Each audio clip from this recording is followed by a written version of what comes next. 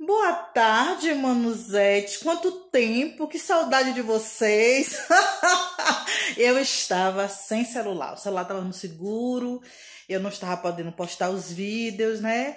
E aí o celular chega e já vem essa bomba, né, rapaz?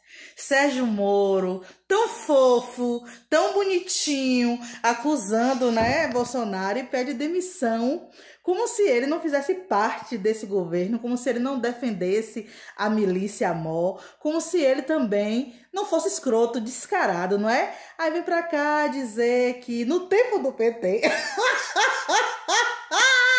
Nunca na história desse país eu vi gente com cara tão de pau igual esse cara. A gente tem que comprar um caminhão de óleo de peroba para passar na cara desse descarado. Aí ele disse que no tempo do PT a PF tinha autonomia. Não é ser muito descarado?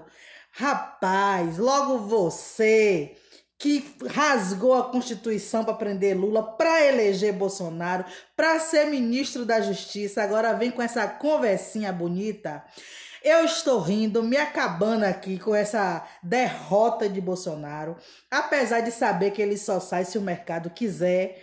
Mas eu tô de olho bem aberto, porque eu sei muito bem que Sérgio Moro está visando 2022, porque quer ser presidente, e o gado, que é burro, que adora esses falsos heróis, vão ficar todo mundo acreditando que Moro é bonzinho e vai ver a loucura de Bolsonaro, que é assim, eles sempre querem um herói, um anti-herói.